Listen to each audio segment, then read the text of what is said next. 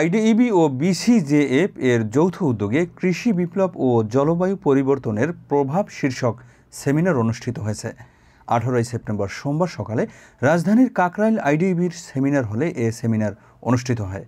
এতে সভাপতিত্ব করেন institution of diploma engineers Bangladesh এর ভারপ্রাপ্ত সভাপতি প্রকৌশলী মোহাম্মদ ফজলুর রহমান খান। প্রধান অতিথি হিসেবে উপস্থিত ছিলেন কৃষিমন্ত্রী ডক্টর মোহাম্মদ আব্দুর রাজ্জাক এমপি। বছরে আপনারা সফল হন নাই।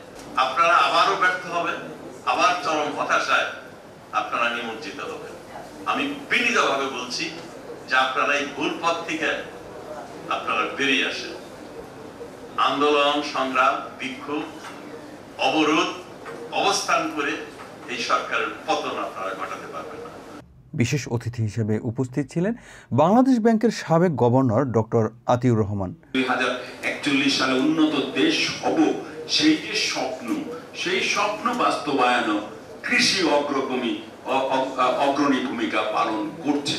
মূল প্রবন্ধ উপস্থাপন করেন বাংলাদেশ ধান গবেষণা ইনস্টিটিউট এর মহাপরিচালক ডক্টর মোহাম্মদ শাহজাহান কবির।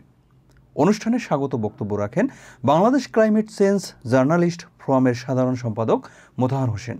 সঞ্চালনায় ছিলেন বাংলাদেশ ক্লাইমেট চেঞ্জ জার্নালিস্ট ফোরামের সভাপতি কাউসার মাহমুদ।